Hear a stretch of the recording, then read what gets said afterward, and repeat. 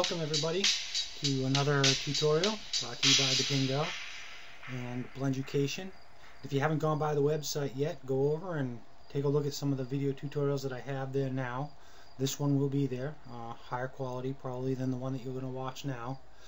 Um, what we're going to discuss right now is um, how to do vertex painting and the benefits of vertex painting.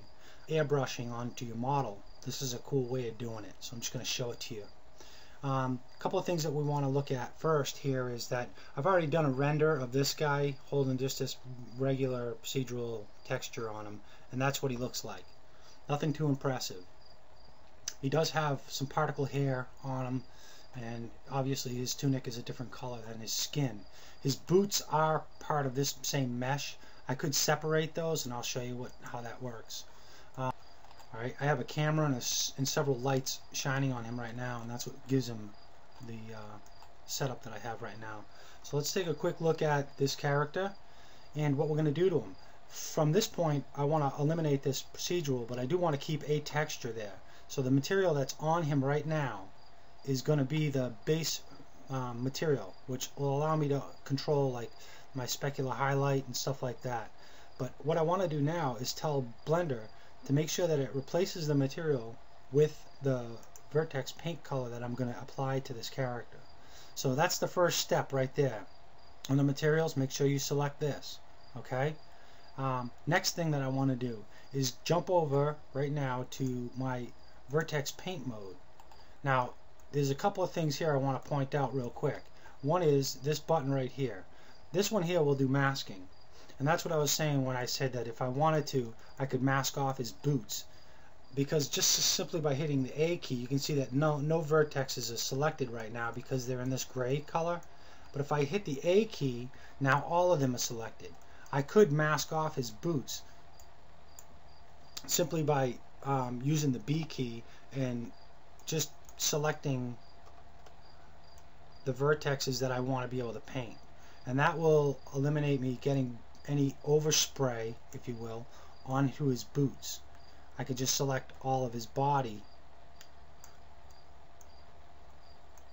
and then make sure that I don't get any on his boots.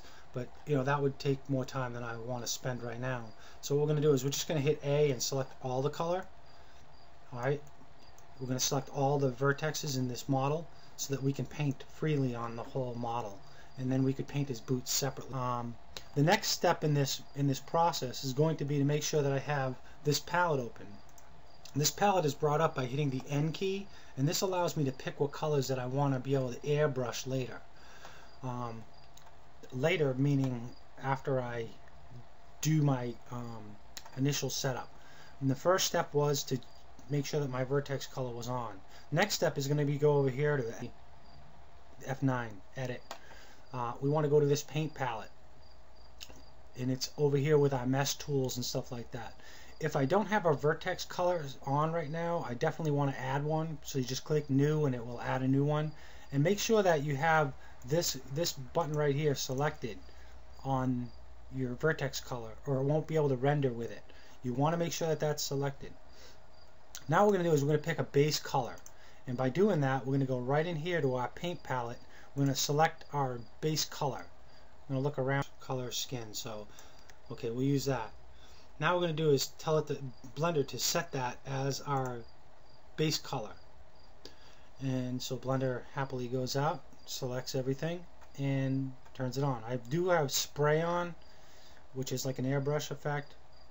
Um, and now what we're going to do is we're going to actually do some airbrushing on this character and see how it looks when we're done.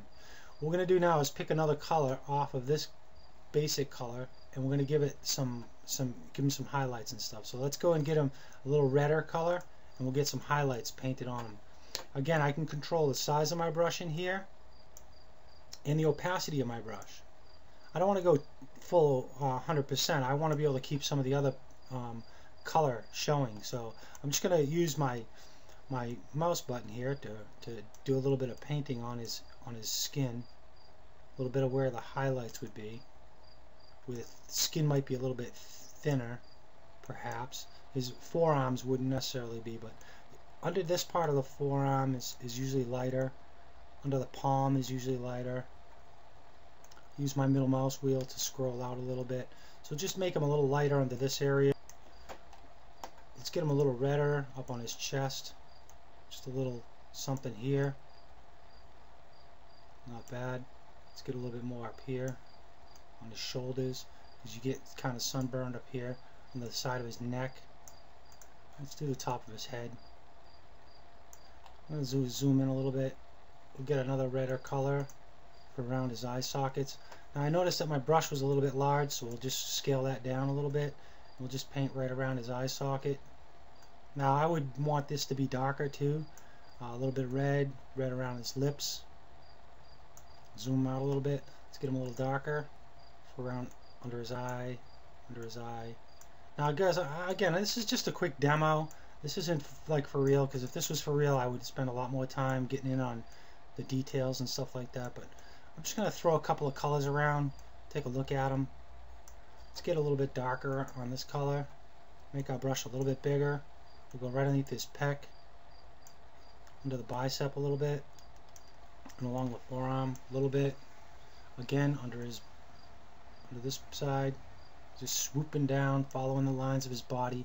That's the benefit of being able to see these masking lines of the vertexes because I can see where I want my flow to go. The, the flow of both where he's going to bend when he's animated and the flow of the muscles in the stomach. Obviously he doesn't have really good abs, but he's about he's not about that. He's about, you know, eating things.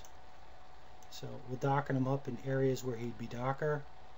Again, we can control our opacity the size of our brush. We can also rotate the model to be able to go and paint in different areas. Alright, we're getting some basic darkness in, in, in, certain areas. We want to go and get a little bit of purple. Um, purple is just a way of, let's cut back on the opacity of that. And we'll spray a little bit of purple under here. That's just going to give them a little bit more definition. It's a receding color It's going to push that back even further. You see this? Uh, now the thing is that what you want to remember here is that Blender is using the vertexes that it sees in order to airbrush this. So let's zoom in on this guy a little bit. And let's take a look and see what's really happening while I'm painting. Blender uses this vertex right here to determine where it can spray. If I try to spray in the center of one, not much is going to happen. Okay, there's nothing happening because it's not seeing that there's a vertex there.